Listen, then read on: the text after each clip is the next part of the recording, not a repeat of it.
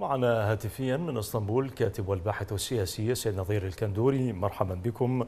أستاذ نظير اذا تصاعد الحرب الكلامية بين الولايات المتحدة الأمريكية وإيران. هل تنذر باحتمالات مواجهة ساحتها العراق؟ حياكم الله وحيا مشاهدي قناتكم الكريمة، يعني لم تكن هذه الملاسنات ما بين النظام الإيراني والإدارة الأمريكية بجديدة ولكن هي تصاعدت في الفترة الأخيرة. أما إن كان العراق ربما يكون ساحة لحسم هذا الصراع ما بين هذين النظام الإيراني والإدارة الأمريكية ربما لن يكون بشكل مباشر إنما سيكون يعني بحروب وكالة. النظام الإيراني سوف يستغل يعني الميليشيات الموالية له والمتواجدة على الأرض العراقية لاستفزاز القوات الأمريكية. بالمقابل القوات الأمريكية يعني من غير المتوقع أن تضرب أهداف إيرانية بحتة داخل العراق أو أن تكون ضرب أهداف إيرانية في إيران انطلاقا من الأراضي العراقية، إنما ستضرب الميليشيات المتواجدة في العراق على اعتبارها هي أذرع للنظام الإيراني. نعم. إلى أي مدى ترى أن هذه الميليشيات مرشحة لخوض تلك المواجهة إذا ما وقعت لا سيما بعد تصريح ميليشيا النجباء أن أنصار الخميني في العراق يذوبون في نهجه؟ يعني حقيقة ما تدعيه يعني الميليشيات الموالية لإيران في العراق لا يتعدى أن يدخل في يعني الحرب النفسية أو أن تقول يعني يدعون أكثر مما يوجد فيهم. يعني ما أتوقع أنها ستتحمل يعني ضربات جوية إذا ما شاءت يعني الولايات المتحدة لتأديب إيران. سوف تتعرض تلك الميليشيات لضربات. ولن يتوقع أن يكون هناك رد فعل من هذه الميليشيات إزاء القوات الأمريكية المتواجدة في العراق.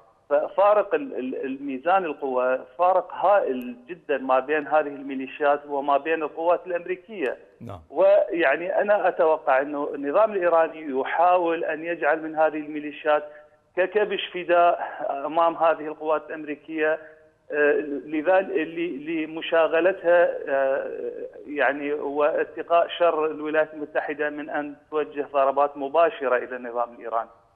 إلى أي مدى ترى أن إيران قد استعدت لهذه المواجهة إن حصلت ولا سيما أن الحرس الإيراني قد أعلن أن بنيتهم العسكرية في العراق والمنطقة قد اكتملت.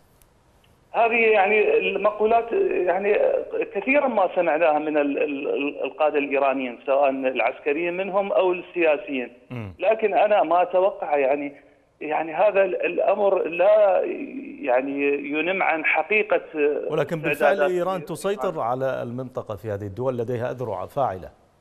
يعني هي تسيطر عليها بسبب ضعف حكوماتها وبسبب الخراب المتواجد في تلك البلدان وليس لقوتها. ويعني هي تعتمد على هذه الميليشيات التي هي يعني شعارها الإرهاب وترويع الناس. هكذا هي سيطرت على هذه المدن. أما إذا واجهت قوة حقيقية كقوة الولايات المتحدة سوف لن تكون بهذا المستوى من الاستعداد لمواجهة مثل هذا النوع. يعني ربما ستكون هي الضربة القاصمة لهذا النظام لو وصلت المرحلة إلى التصادم الفعلي ما بين الولايات المتحدة والنظام الإيراني.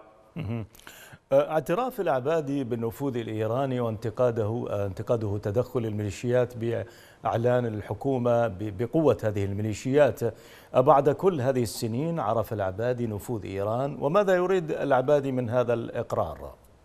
يعني ال ال أنا أتوقع هذه التصريحات تندرج بالأمل الذي يتامله وأنه ربما أن حكومة عادل عبد المهدي سوف تنهار ويكون هو المرشح الأوفر حظا لتشكيل حكومة جديدة، لذلك هو يحاول أن يتصيد يعني من أخطاء هذه الحكومة الجديدة ويحاول أن ينتقد الميليشيات التي هي الآن لديها يعني أعضاء بالبرلمان وأعضاء بالحكومة.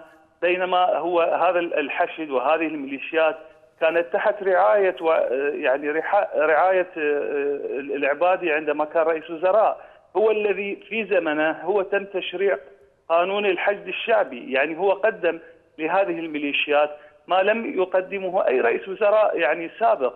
فهذا الكلام يعني ما هو إلا ضمن المزايدات السياسية ما بين هؤلاء السياسيين العراقيين. شكرا جزيلا من إسطنبول فيها الكاتب والباحث السياسي سيد نظير كندوري.